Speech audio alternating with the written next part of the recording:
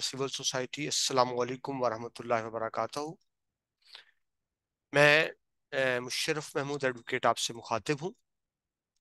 मेरा ताल्लुक eh, शोबा वकालत से है और अरसा तकरीबन पच्चीस साल हो गए हैं मैं वकालत से मुंसलिक हूँ।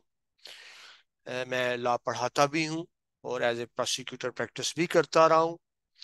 आपका शुक्रिया कि आज तशरीफ़ लाए, आज आपसे छोटे से एक मौजू पर बात होगी। सबसे पहले माजरत चाहूँगा लेट होगी, कुछ लिंक का इशू आ रहा था। कुछ प्रॉब्लम था लिंक का, वो ब्रोकन लिंक था सो मुझे मीटिंग ज्वाइन करने में आज थोड़ी सी लेट हो गई। तो मैं माजरत चाहूँगा, लेकिन बहरहाल लेट स्टार्ट ये प्लीज़ जी एडमन से रिक्वेस्ट है कि ये इनेबल कर दें, मैं शेयर करना चाह रहा हूँ स्क्रीन को। Please enable the screen sharing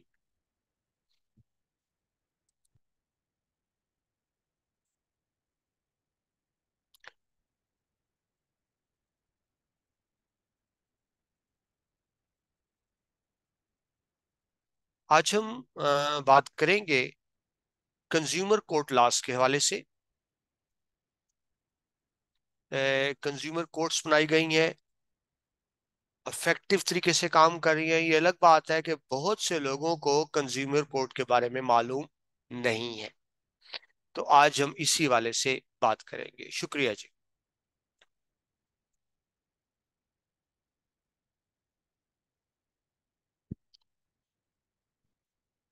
Abdullah Baloch साहब ने कहा सेम विद मी जी, आज थोड़ा सा इशू था वाकई।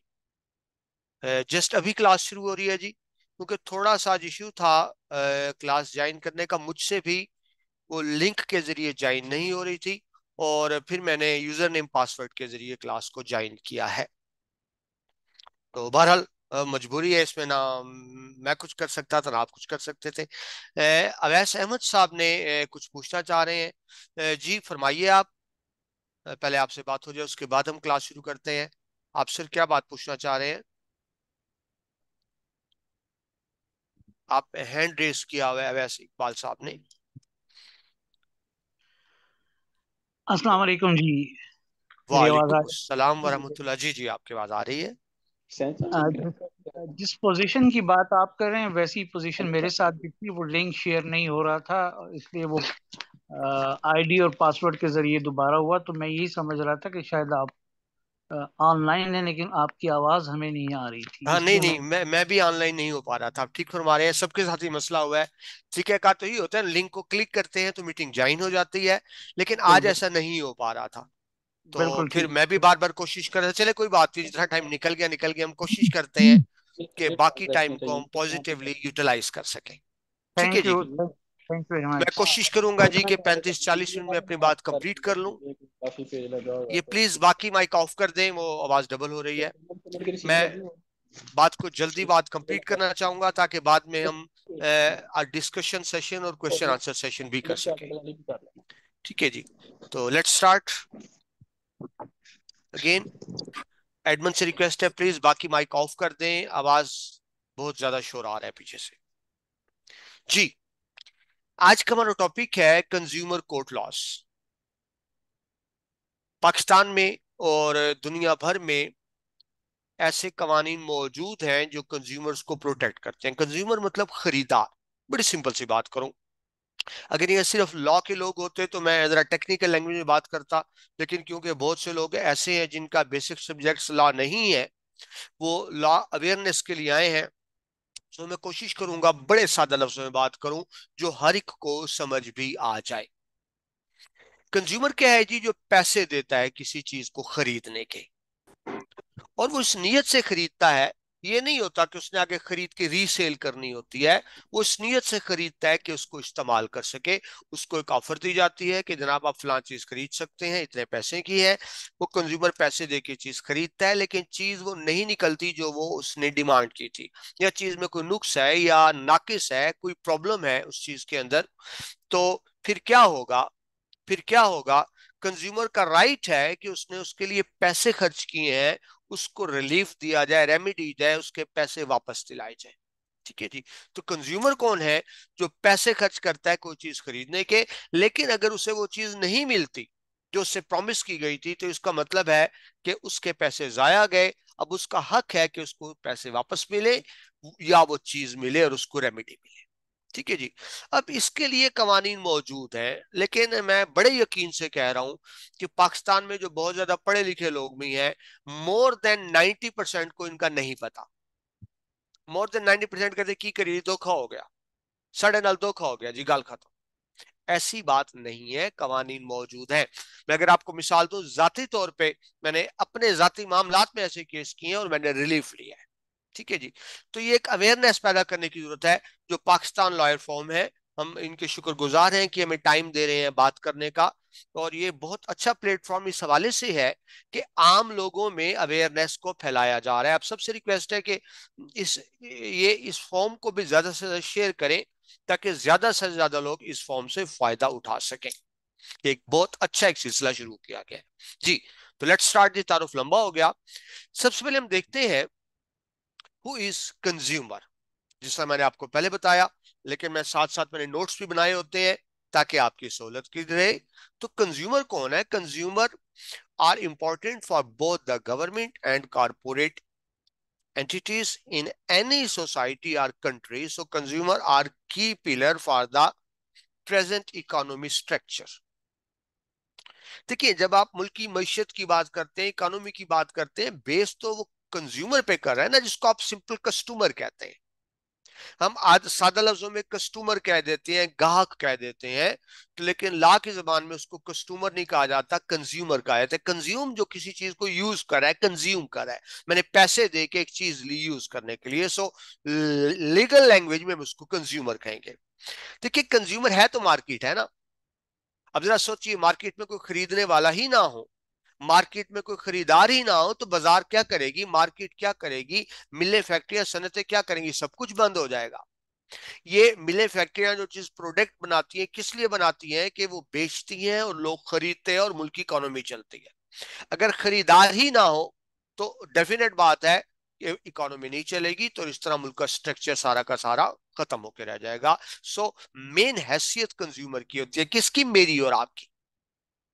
ये मैं किसी और को नहीं पढ़ा रहा मैं अपनी बात करूँ मैं आपकी बात करूँ। हम रोज़ाना सैकड़ों नहीं दर्जनों चीज़ें तो रोज़ाना खरीदते हैं ना मार्केट से हम दर्जनों चीज़ें खरीदते हैं लेकिन हमें ये पता ही नहीं कि हमारे कुछ राइट्स भी हैं।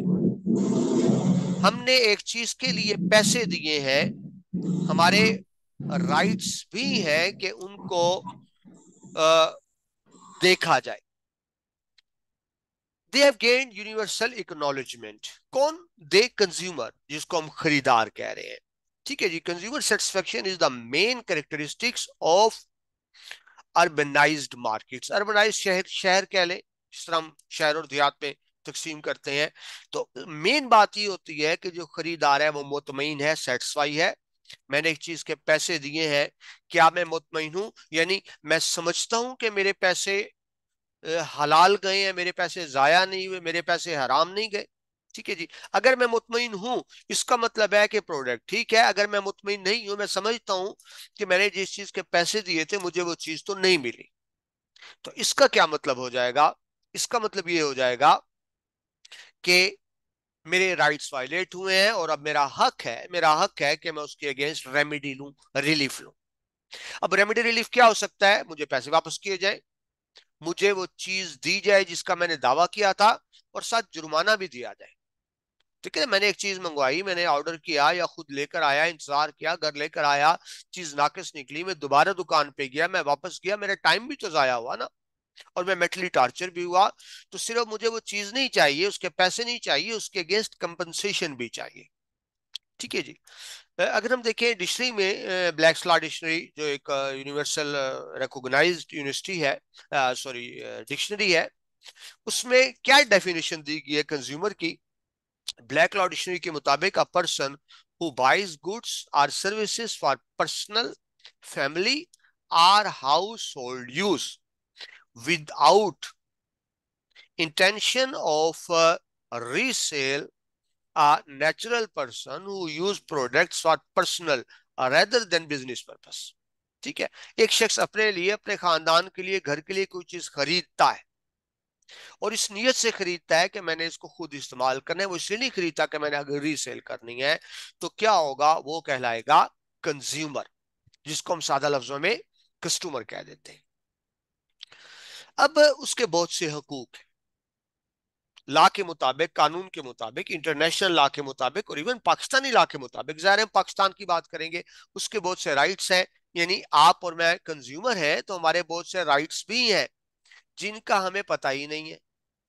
जिनका हमें पता ही नहीं, अगर हमें पता हो तो हम उससे फ़ायदा ले सकते हैं। ठीक है जी? तो अब सबसे पहले हम जरा चलते हैं इंटरनेशनल स्नैरियो की तरफ़। यूनाइटेड नेशन जो दुनिया का सबसे बड़ा इदारा है दुनिया के तमाम मुल्क, तकरीबन तमाम मुल्क, एक दो छोटे छोटों को छोड़कर दुनिया के तमाम मुल्क यूनाइटेड नेशन के मेंबर हैं। लिहाजा यूनाइटेड नेशन जब कोई करारदाद मंजूर करती है, कोई रेजोल्यूशन पास करती है तो दुनिया का हर मुल्क पाबंद है उसको मानने पे इंप्लीमेंट करने पे। पाकिस्तान भी यूनाइटेड नेशन का मेंबर है। लिहाजा यूनाइटेड नेशन जो रेजोल्यूशन देगी, पाकिस्तान भी मानने का पाबंद है।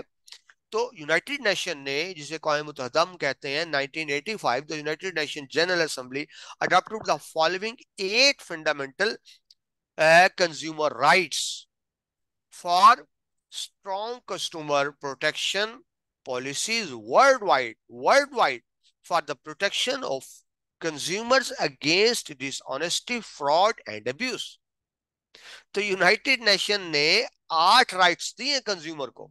कि आठ राइट्स हासिल हैं कंज्यूमर को इंटरनेशनली हासिल है, यानी वो तमाम मुल्क जो मुतहदा के मेंबर है, उन तमाम मुल्क के बाशिंदों को ये आठ राइट्स हासिल हैं और ज़ाहिर पाकिस्तान भी उसमें शामिल है। पहला क्या जी? राइट ऑफ़ सेफ्टी कि जो चीज़ वो खरीदे वो महफूज हो। यानी कोई ऐसी चीज़ जिसे मैंने यूज़ किया, मैं उससे जख्मी हो सकता हूँ, मुझे कट लग सकता है उसमें कोई कोना निकला हुआ है, शार्पन है या उससे मुझे एलर्जी हो जाती है, कोई प्रॉब्लम हो जाता है तो ऐसा ना हो, ये मेरा राइट है, मैं जो चीज़ खरीदू मेरे लिए सेफ़। फिजिकली भी, मेंटली भी सेफ़ हो। अगर उसकी वजह से मुझे कोई नुकसान पहुँचता है तो इसका मतलब मेरे राइट वायलेट हुए हैं। तहमीना कह रही है which video YouTube some emergency reason olive okay जी। अल्लाह ताला आपके लिए आसानी करे, अल्लाह ताला हम सब के लिए आसानी करे। ठीक है जी, आप तो रेगुलर विजिटर्स हैं, लेकिन अल्लाह आपके लिए आसानी करे। अगर आपको अर्जेंसी है तो यकीन पहले आप वही काम करें। शुक्रिया।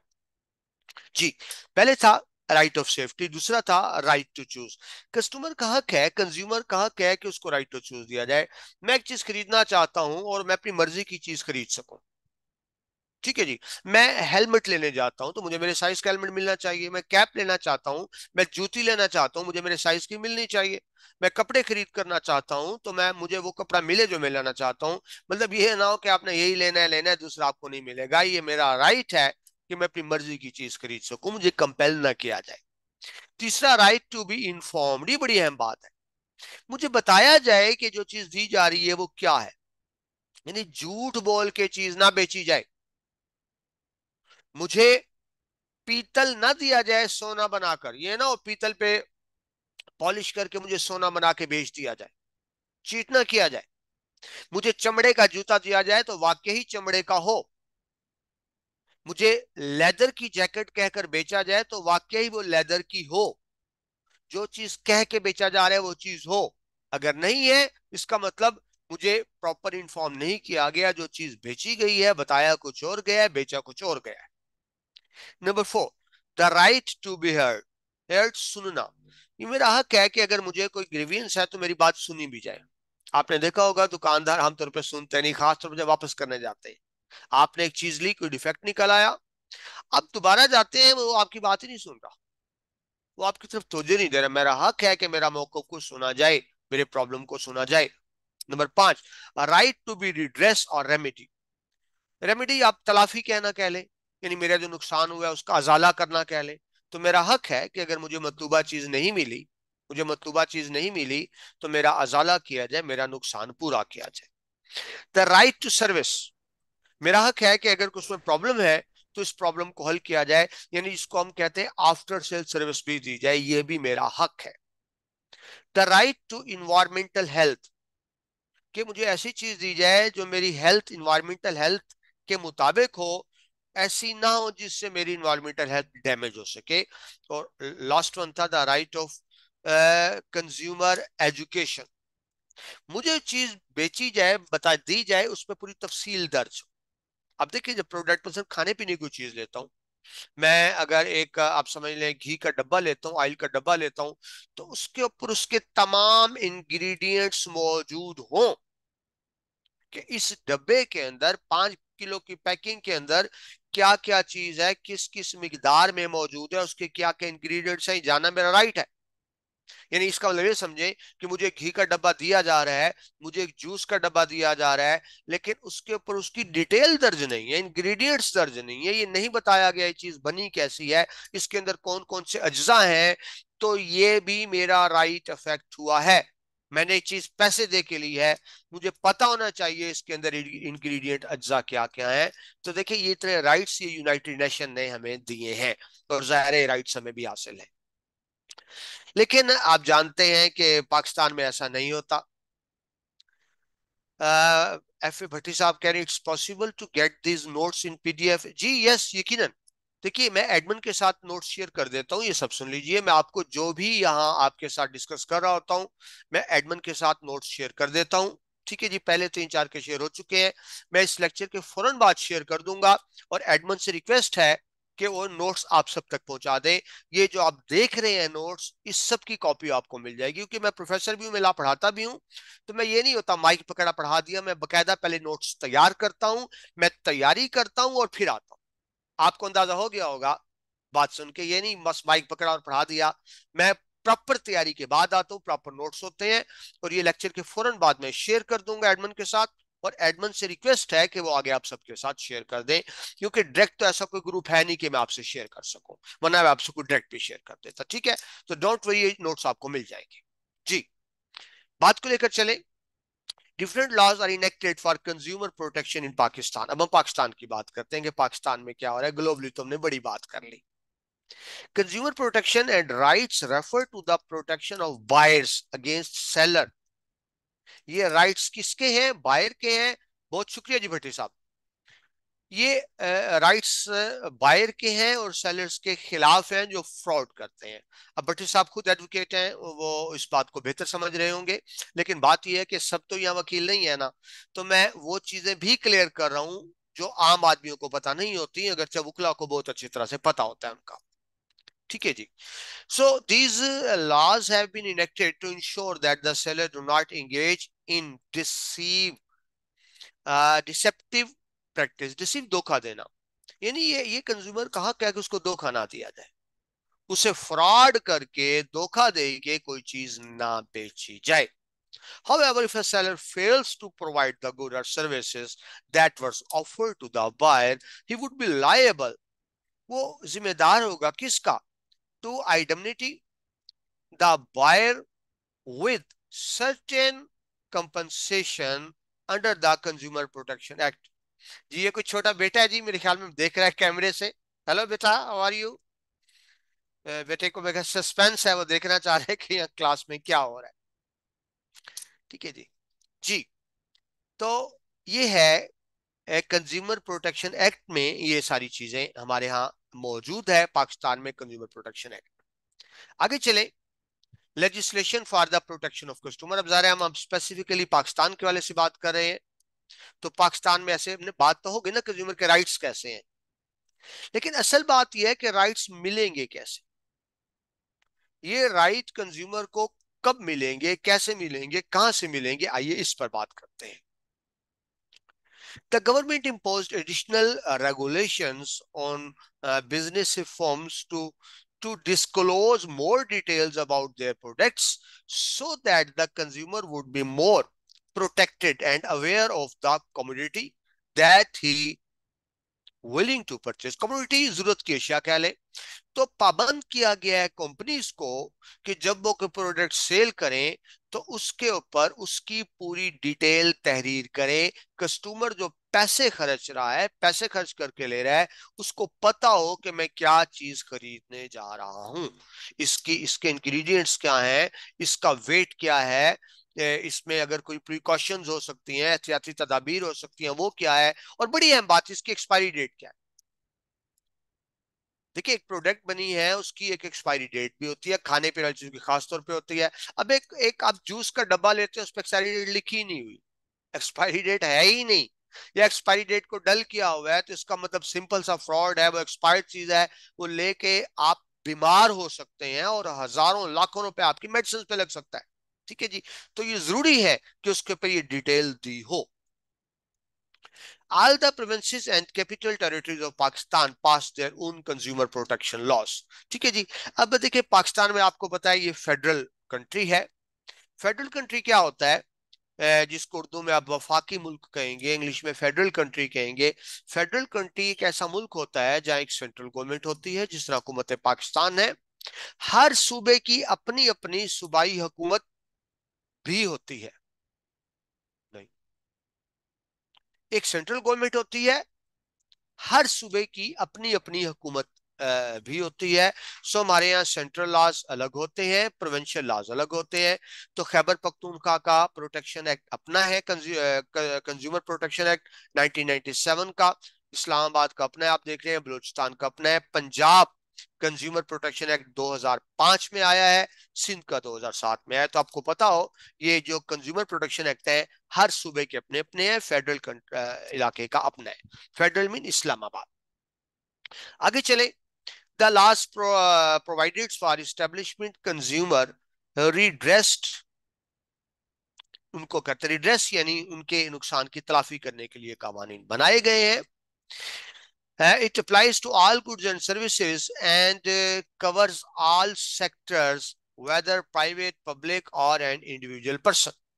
ठीक है जी? अब ये जो कवानीन है इनका इतलाक सिर्फ़ सरकारी इदारों पे नहीं होगा। यानी ये नहीं सिर्फ़ गवर्नमेंट की मैन्युफैक्चरिंग है उसमें गवर्नमेंट है पब्लिक है प्राइवेट है इंफरादी है इज्तमाही है इन सब में होगा। बट साहब कहते हैं sir there must be some laws with regards to the online fraud, sale and purchase, most of the buyers are being deceived. हम इस पे बात करते हैं जी। ये जो ऑनलाइन शॉपिंग का कंसेप्ट है आगे हम इसी पे बात करेंगे। मुझे जरा प्लीज़ पहले बात को कंप्लीट कर लेने दें। इंशाल्लाह उसके बाद ये जो आपने बात का ये नेक्स्ट टॉपिक यही है आगे। ठीक है जी। It provides a relief for a specific nature and also for compensation to the consumer as appropriate ठीक है जी तो कवानीन मौजूद है। अब कुछ मिसालें देख लेते हैं। टाइम आज क्योंकि कम है, मिला है तो हम जरा जल्दी जल्दी देख लेते हैं। मिसालें देख लें। आज का जो भी एक क्वेश्चन भी किया भट्टी साहब ने in today's digital world many online scams occurs every day आपने ऑनलाइन बटन पे क्लिक किया, एक चीज़ आ गई और पता लगा वो चीज़ तो थी नहीं। आपने कपड़े मंगवाए, पैकिंग के अंदर तो रद्दी अखबार के टुकड़े थे या कोई फटे पुराने सूट थे या थर्ड क्लास सूट था, आपने आपने तो पेमेंट पहले कर दी है। तो जब पैकिंग खोली तो निकलता कुछ और है। ठीक है जी? तो उनको हम ये जो आजकल ऑनलाइन स्कैम्स वगैरह हो रहे हैं, उसी की बात जिस तरह भी अभी भट्ट साहब ने क्वेश्चन भी किया था। लेकिन आप भट्ट साहब देखिए, मैंने ऑलरेडी इस चीज़ पे नोट्स बनाए हुए थे। But hardly any of them are reported बात हम रिपोर्ट नहीं करते। जी, ठीक है अब्दुल्ला बलोच साहब ने डिजिटल फ्रॉड जब आप ऑनलाइन शॉपिंग करते हैं तो सारी डिजिटल शॉपिंग है, उसमें फ्रॉड अब इसमें रिलीफ मौजूद है। लेकिन वही बात, क्योंकि हम इन लाश का पता नहीं है, हम कहते हैं जी, बस वो क्या पंजाबी में क्या कहते हैं? अल्लाह दी मर्ज़ी। अल्लाह दी मर्ज़ी, अल्लाह दी मर्ज़ी करके चुप करके बैठ जाते हैं। हालाँकि प्रोटेक्शन एक्ट मौजूद है और आपने देखा हर सूबे का अपना अपना प्रोटेक्शन एक्ट मौजूद है। हम ज़ाहिर यहाँ मोस्टली पंजाब के वाले से बात करेंगे। और सिंध के हवाले से। आपको मिसाल दूँ मसलन प्रीवियसली 2020 की बात है, young YouTuber ordered a drone. Drone camera आप जानते हैं, जो ऊपर से वीडियो बनाता है, या यूट्यूबर को ज़रूरत होती है बड़ा यूट्यूबर था, ठीक है तो उन्होंने ड्रोन कैमरे का ऑर्डर दिया द्रास पर। द्रास आप जानते हैं, पाकिस्तान में सबसे बड़ा ऑनलाइन प्लेटफॉर्म है, ऑनलाइन सेल का, जिस तरह वर्ल्ड वाइज तो अमेजोन है और अली बाबा वगैरह है, पाकिस्तान में दराज है तो द्रास में ड्रोन कैमरे का ऑर्डर दिया, लेकिन when he received the package the seller delivered only waste newspaper in the box वो खोला तो रद्दी अखबार के टुकड़े थे। ऑर्डर दिया है ड्रोन का पैसे दे दिए, उसमें से तो रद्दी अखबार निकली है। ठीक है जी। अब यहाँ एक क्वेश्चन पैदा हो क्योंकि खुद यूट्यूबर थे। देखिए ना, हम तो रोदो के बैठ जाते हैं ना, वो खुद यूट्यूबर थे। तो उन्होंने तो यूट्यूब पे वीडियो डालनी डालनी थी। और क्योंकि बड़े यूट्यूबर थे वो यूट्यूब पे वीडियो डाली और वायरल हो गई और बात ऊपर से ऊपर चली गई। आपको पता है, जब चीज़ वायरल हो जाती है, बात पब्लिक हो जाती है तो फिर उस पर रिलीफ लाजमन मिलता है। तो क्योंकि खुद यूट्यूबर थे तो बात ऊपर तक चली गई। अब क्वेश्चन ये पैदा हुआ क्वेश्चन राइज कि इसमें कसूर किसका है? तो question rise who committed the fraud and who was to be blame क्या ये फ्रॉड दराज ने किया या ये फ्रॉड उस सेलर ने किया जिसने भेजा। क्योंकि देखिए आप जानते हैं दराज खुद तो प्रोडक्ट नहीं भेजता ना। दराज के पास मुख्तलिफ़ इदारे रजिस्टर्ड होते हैं जो भेजते हैं। तो भेजा तो किसी कंपनी नहीं था। ठीक है दराज ने तो नहीं भेजा था।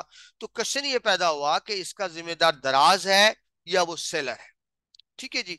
लेकिन जब ये मामला आ, सोशल मीडिया पर वायरल होता है ठीक है जी और ये वीडियो जाती है तो आ, मामला जब कोर्ट में आता है तो तय किया गया कि इसका जिम्मेदार दराज था। क्योंकि बंदे ने ऑर्डर तो दराज पे किया था ना। वो जो प्राइवेट प्रोडक्ट थी तो वो तो प्राइवेट कंपनी ने दी थी लेकिन जिस बंदे ने ऑर्डर किया था उसने कंपनी को ऑर्डर नहीं किया था। उसने ऑर्डर तो दराज को किया था। दराज की गुडविल थी उसने ऑर्डर दराज को किया था।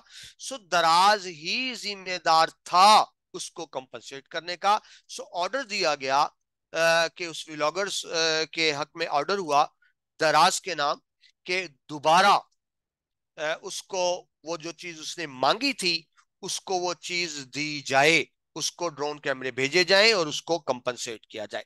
ठीक है? So they have to compensate Afaq साहब कह रहे हैं Daraz no sends by themselves and seller deposit items in their warehouse जी, अब ऐसा भी होता है। लेकिन ये दोनों ऑप्शन है। आफाक साहब, ऐसा नहीं है, दोनों ऑप्शन है। एक ये भी है कि आप दराज ऑफ़िस से जाके ले लें, ऐसा भी है। और ये भी है कि डायरेक्ट है, दोनों चीज़ें इस्तेमाल हो रही हैं। हाँ कस्टमर को फ़ायदा ये है कि अगर आप दराज ऑफ़िस से जाके लेते हैं तो फिर आपको शिपिंग चार्जेस नहीं पड़ते। लेकिन अगर आप घर पे डिलीवर कराते हैं तो फिर आपको शिपिंग चार्जेस पड़ते हैं। तो ये दोनों चीज़ें आफाक साहब साथ साथ चल रही है। मैं आपको अपना एक्सपीरियंस बताऊँ। मैंने दो तीन प्रोडक्ट्स खरीदी दराज से। ऑर्डर करके चीज़ें ली और ज़ाहिर पेमेंट कर चुका था, लेकिन चीज़ें ठीक नहीं निकली। तो मैं दराज ऑफ़िस किया। मैं आपको अपना पर्सनल एक्सपीरियंस बता रहा हूँ। किताबी बात छोड़े। मैं दराज ऑफ़िस किया। तो उन्होंने क्या किया? उन्होंने उसी वक्त उसी वक्त मुझे पैसे भी रिफंड कर दिए। मेरे अकाउंट में पैसे वापस आ गए और जो चीज़ थी वो भी मुझे दे दी। यानी एक दो मैंने आज ऑर्डर किया था, ये जो मोबाइल चार्जर्स होते हैं चार्जर होते हैं, लेकिन मैंने बड़े चार्जर का ऑर्डर किया था और जो आया उसमें थोड़े एम्पेयर थे। मैंने ज़्यादा एम्पेयर का ऑर्डर किया और उसमें थोड़े एम्पेयर का चार्जर आया। तो जब दराज ऑफ़िस किया तो मुझे चार्जर भी उन्होंने वापस कर दिया चार्जर भी दे दिया और पैसे भी फ़ौरन रिफंड कर दिए। तो मतलब ऐसी चीज़ मौजूद है। कम अज कम दराज की तक यह है कि फ़ौरन कंपनसेट करते हैं। पाकिस्तान में एक बड़ा है, Imtiaz super store super market ठीक है जी। उनको रिसेंटली फाइन हुआ और बड़ा हैवी फाइन हुआ है किस चीज़ का? कि उसके अंदर हाइजेनिक कंडीशन नहीं थी। यानी एसी ऑफ़ थे। अब देखिए जब एयर कंडीशन होता है तो हॉल बंद होते हैं। वेंटिलेशन तो होती नहीं, नहीं। हवा तो क्रॉस हो नहीं रही और जब एसी बंद कर देंगे अंदर हब्स होगा घुटन होगा तो जब अचानक छापा पड़ा तो अंदर वो कंफर्टेबल माहौल नहीं था हाइजेनिक माहौल नहीं था। तो उनको इस चीज़ पे भी जुर्माना हुआ और साथ ये भी पता चला कि इम्तियाज़ इस पे लोग बड़ा टेस्ट करते हैं, वो कुछ एक्सपायर्ड आइटम भी मौजूद थे। शेल्फ के अंदर एक्सपायर्ड आइटम लगे हुए थे, उस पे भी उनको हरजाना किया गया। तो देखिए, लाज बरल मौजूद है, लेकिन क्या है, हमारी इग्नोरेंस है। टाइम थोड़ा रह गया, मैं जल्दी से आगे चलता हूँ, असल बात की तरफ़, कि अगर आपने एक चीज़ खरीदी है, चीज़ ठीक नहीं मिली तो आप क्या करेंगे? प्रैक्टिकली क्या करेंगे? ये तो हमने जबानी कलामी बहस कर ली ना। प्रैक्टिकली आपको क्या करना होगा? तो बड़ी सिंपल सी बात है जी।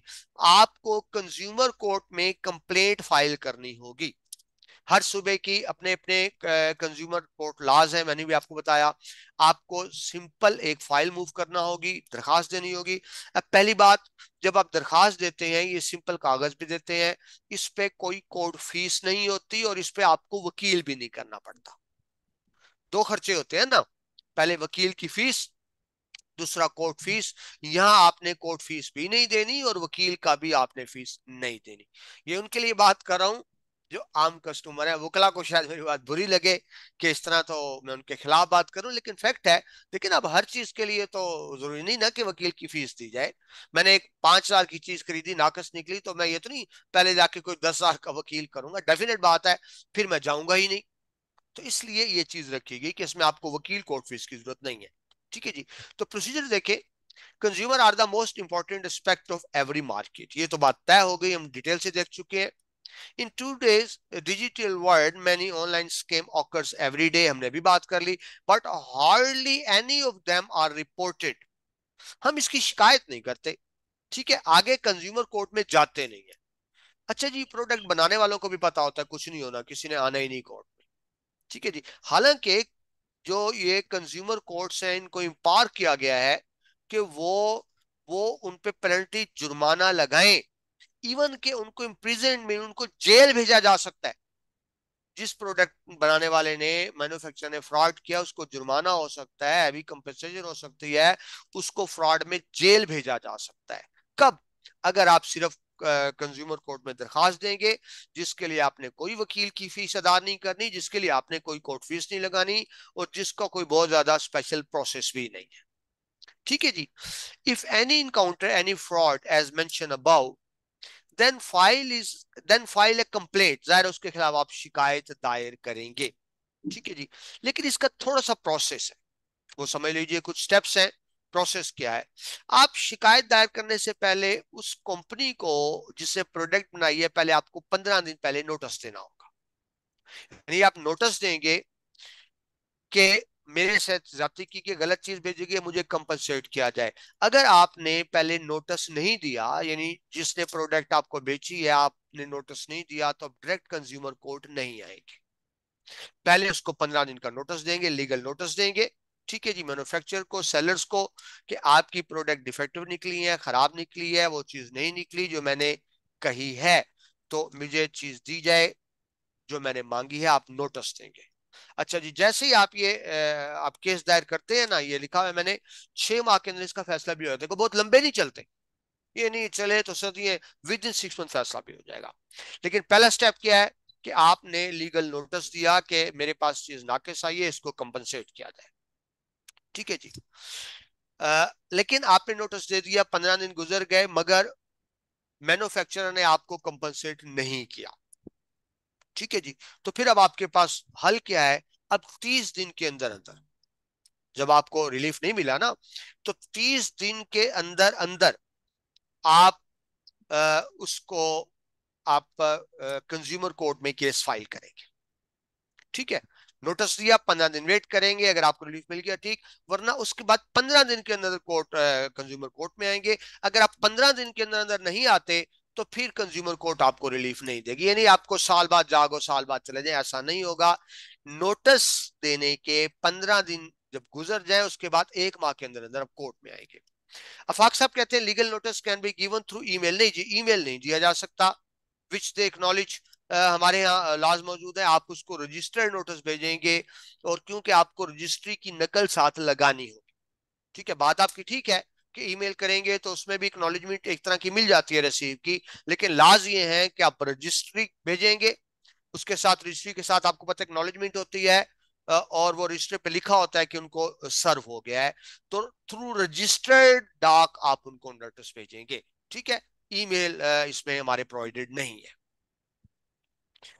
नो एक भी लीगल नोटिस एक लेमैन भी, जी बिल्कुल बिल्कुल सेंड कर सकता है जी। आप उसके लिए आपको वकील होने की ज़रूरत नहीं है। अब्दुल्ला बलोच साहब ने कहा, बिल्कुल। आपने देखिए, उसमें मैं आपको बता दूँ लीगल नोटिस है सिंपल लिखना है। ऊपर कंपनी का नाम, ठीक है जी। मैंने फलां तारीख को फलां चीज़ आपसे खरीदी है, लेकिन जब मेरे पास आई है तो उसमें ये चीज़ नहीं निकली, नाकिस चीज़ निकली है, मेहरबानी करके मुझे असल चीज़ भेजी जाए, वरना मैं आपके खिलाफ कंज्यूमर कोर्ट में दरखास्त दे दूँगा। दैट्स ऑल बस, इसमें कोई ला पॉइंट्स नहीं है, कोई ला पॉइंट्स नहीं है। बिल्कुल जिस तरह से आप सिंपल दरखास्त लिखते हैं। देखिए, वकील तो ला पॉइंट्स निकालते हैं ना, लेकिन ये तो एक आम आदमी है ना, आम हर बंदा तो लॉमैन नहीं होता। आप सिंपल एक नोटिस देंगे, ठीक है? लेकिन शर्त यह है नोटिस आप जब देंगे दैट शुड बी रजिस्टर्ड क्योंकि आपने रजिस्ट्री की रसीद साथ पेश करनी होती है। जी बेहतर है कि आप साथ एक्नॉलेजमेंट लगाएँ। एक्नॉलेजमेंट दो चार रुपए की मेरे ख्याल में शायद अब पाँच दस की हो गई हो। मुझे याद है पहले कम होती थी तो वो एक छोटी सी स्लिप होती है एक्नॉलेजमेंट इसलिए आप लगा दें तो बेहतर बहुत, बहुत बेहतर है। कैन वी यूज़ कोरियर जी बिल्कुल आप कोरियर यूज़ कर सकते हैं। ज़रूरी नहीं कि आपने सरकारी डाकखाने के ज़रिए भेजना है कोई भी कोरियर सर्विस आप यूज़ कर सकते हैं जो आपको रजिस्ट्री की रसीद दे। ठीक है जी? अब हम प्रोसेस की तरफ़ आ रहे हैं नंबर दो। आपने नोटिस दे दिया, पंद्रह दिन गुजर गए, आपको कंपनसेशन नहीं मिली। विद इन वीक अब आप कंज्यूमर कोर्ट में दरखास्त देंगे। और उस दरखास्त में बताएँगे कि मैंने नोटिस दिया था, लेकिन बात नहीं बनी।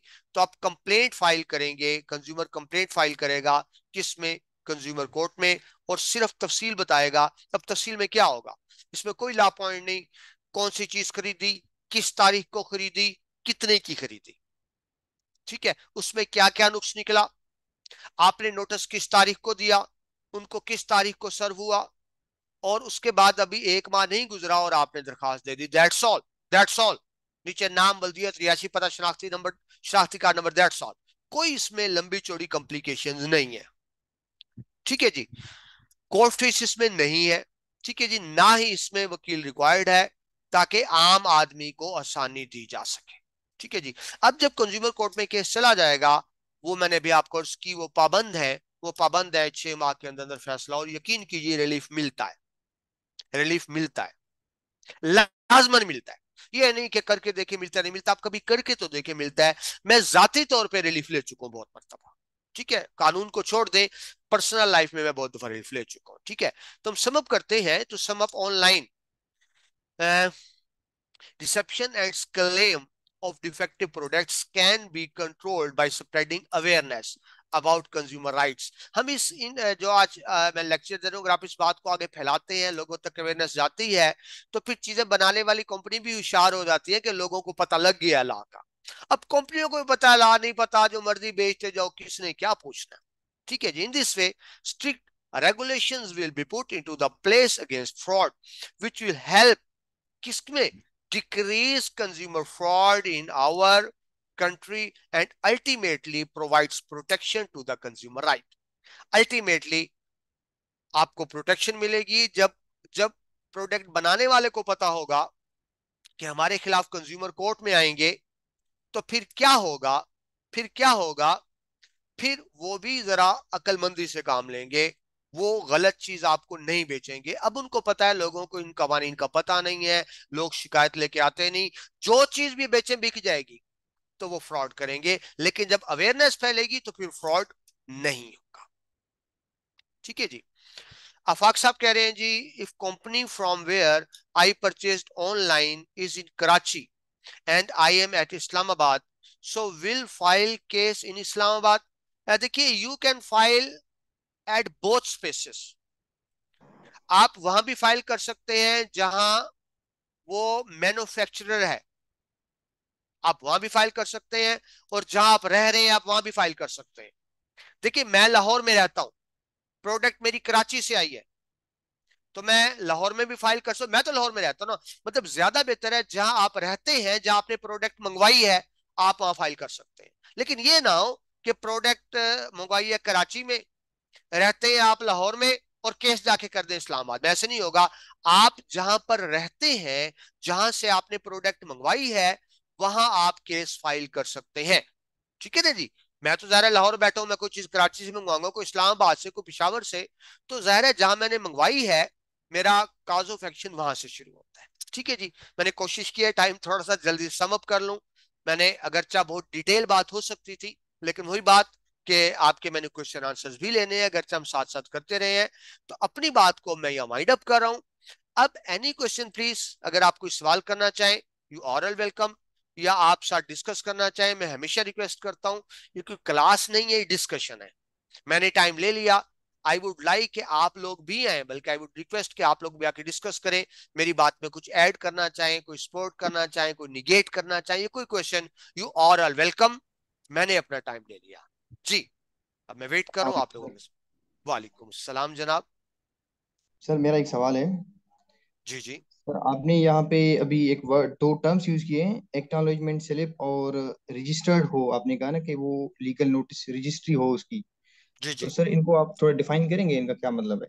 देखिए रजिस्ट्री का मतलब ये होता है कि आप मसलन टीसीएस ऑफ़िस गए हैं या पोस्ट ऑफ़िस गए हैं। खैर ये पोस्ट ऑफ़िस वाले से होता है। पोस्ट ऑफ़िस में आपने रजिस्ट्री दी उन्होंने आपको रजिस्ट्री स्लिप दे दी। ठीक है? कि वो वो आपको पोस्ट ऑफ़िस वाली रजिस्ट्री की स्लिप दे देते हैं आप पेश कर देते हैं कि देखिए जनाब मैंने ये फला तारीख को रजिस्ट्री की। अब आपके पास ये सबूत तो आ गया कि आप रजिस्ट्री कर चुके हैं। ये सबूत तो आपके पास आ गया।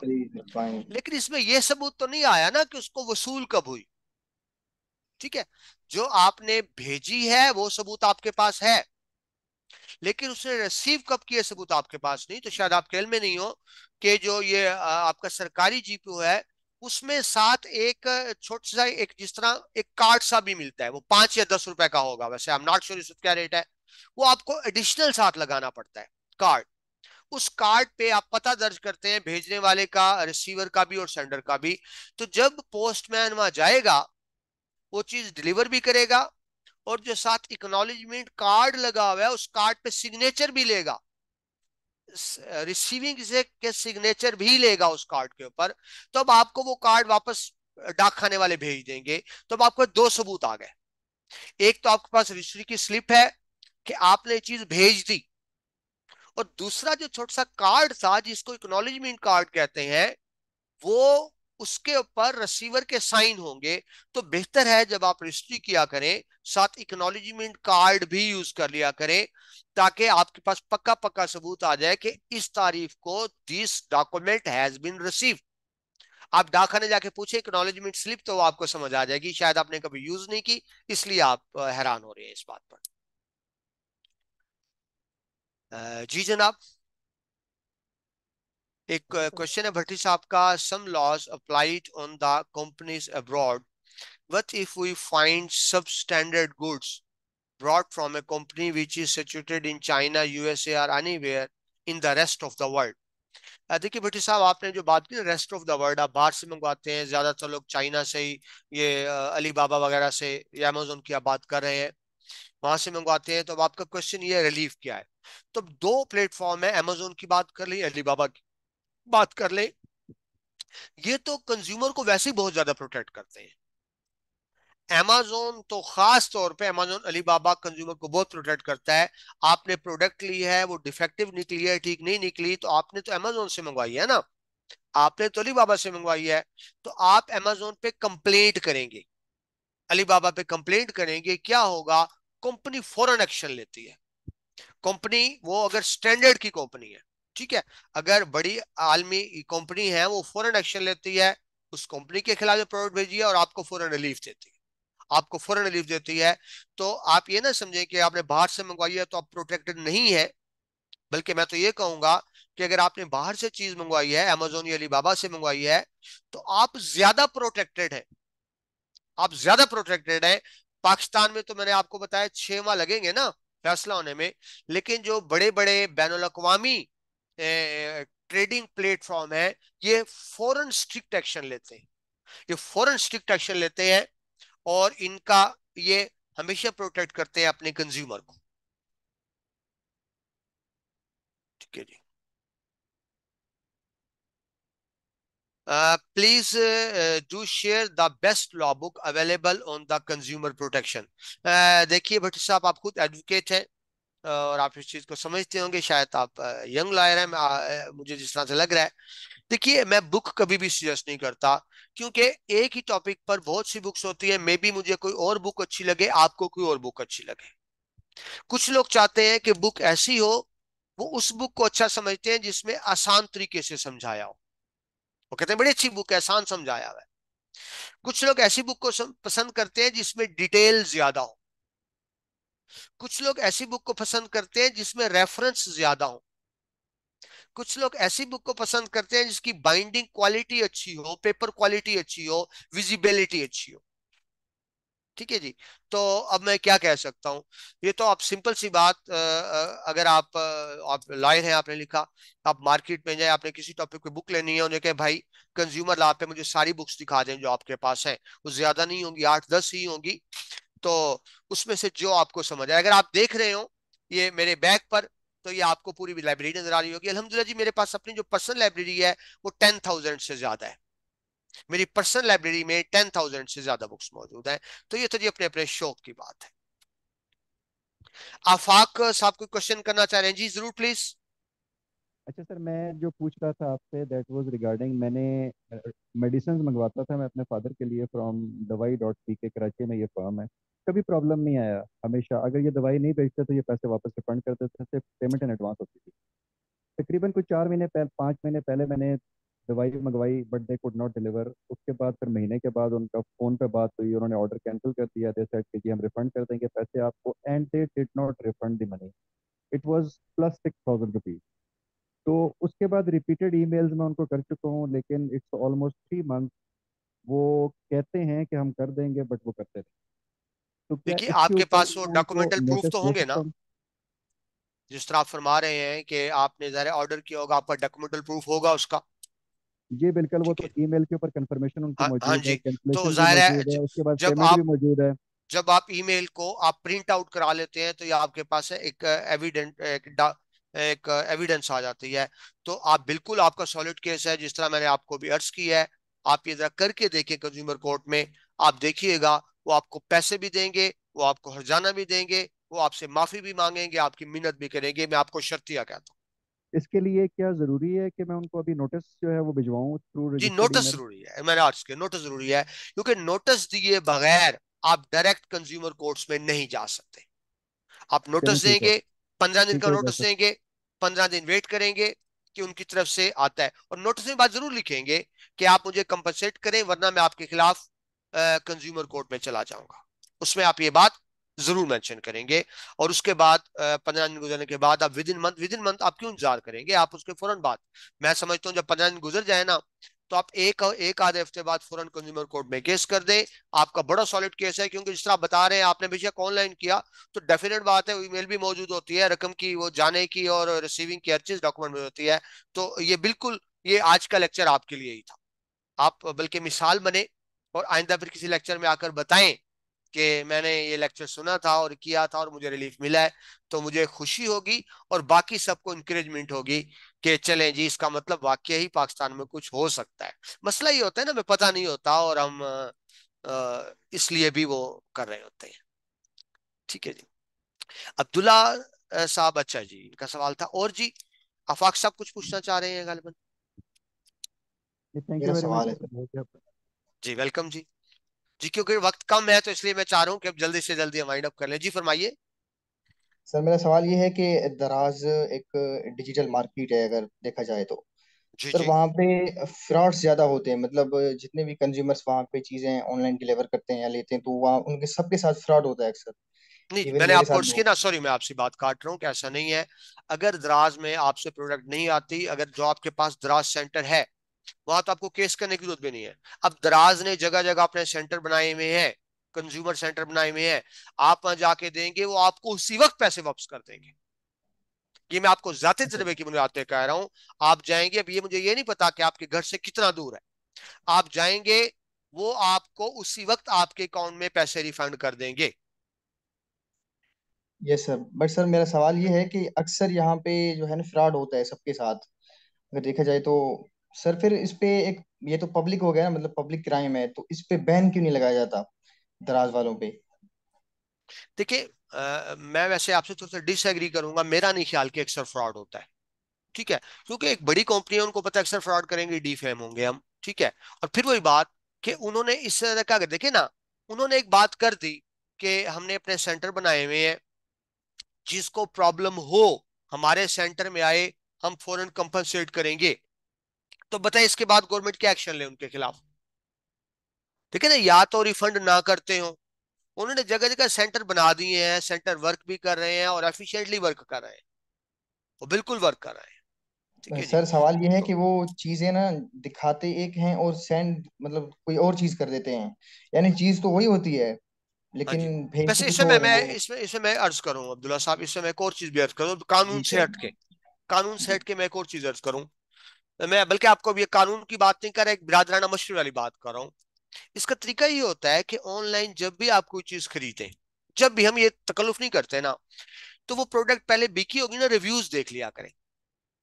यानी एक प्रोडक्ट है लेकिन पहले जिसने खरीदी है तो उनके रिव्यूज़ मौजूद होते हैं। रिव्यूज़ देख के बहुत कुछ अंदाज़ा हो जाता है। अब मैंने मसलन बहुत सी ऐसी साइट्स देखी है कपड़े आप सूट की बात कर लें बड़ा सस्ता और अच्छा सूट है। लेकिन जब रिव्यूज़ पढ़ते हैं लोग कहते हैं बकवास कपड़ा है बिल्कुल नहीं लेना। तो मेरा ख्याल है यूँ हमें अंधा एतमाद भी नहीं करना चाहिए।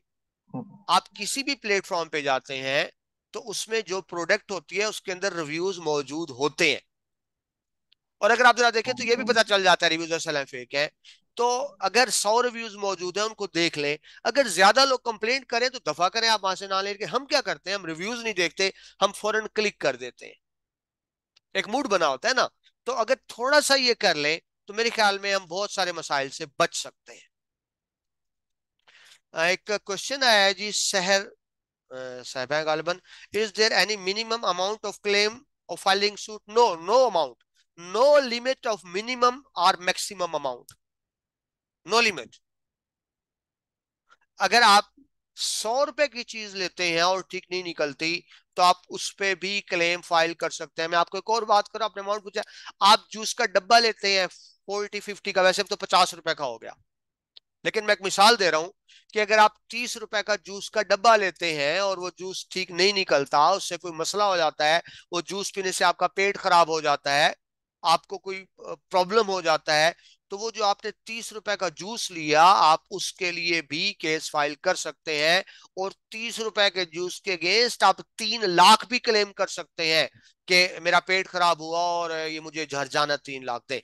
अब शायद तीन लाख तो आपको ना मिले, लेकिन ये नहीं होगा कोर्ट आपको तीस रुपए वापस दिलाएगी वो जुर्माना भी दिलाएगी साथ जितना भी कोर्ट मुनासिब समझे। ठीक है जी? चलें जी टाइम कंप्लीट हुआ जी बहुत शुक्रिया। आ, मैं उम्मीद करता हूँ कि आज के लेक्चर से आपको बहुत सी चीज़ें नई सीखने को मिली होंगी। कोशिश किया कीजिए कि फिर मालूम को आगे से आगे शेयर करें। और मैं अगेन शुक्रिया अदा करना चाहूँगा पाकिस्तान लाइव फॉर्म का कि उसने हमें सबको ये ये फैसिलिटी दी। ठीक है जी। जी ये मैं नोट्स फ़ौरन शेयर कर देता हूँ जी। मैं एडमन के साथ अभी अभी शेयर कर देता हूँ और फिर मैं एडमन से रिक्वेस्ट करूँगा कि आगे ये नोट्स आप सबके साथ शेयर कर दें। ठीक है जी। कल इंशाल्लाह चार बजे आपसे दोबारा मुलाकात होगी एक नए टॉपिक के साथ। टाइम पे तशरीफ़ लाया कीजिए। आई होप कि आप लेक्चर्स को एंजॉय करेंगे। बड़ी मेहनत से ही आपके लिए लेक्चर्स तैयार किए जाते हैं। अपना बहुत सा ख्याल रखिएगा जी। कल तीन बजे आपसे दोबारा मुलाकात होगी। अल्लाह हाफिज। Thank you so much sir thank you thank you जी। बहुत शुक्रिया जी। आप सबका बहुत शुक्रिया। Thank you sir thank you जी अल्लाह हाफिज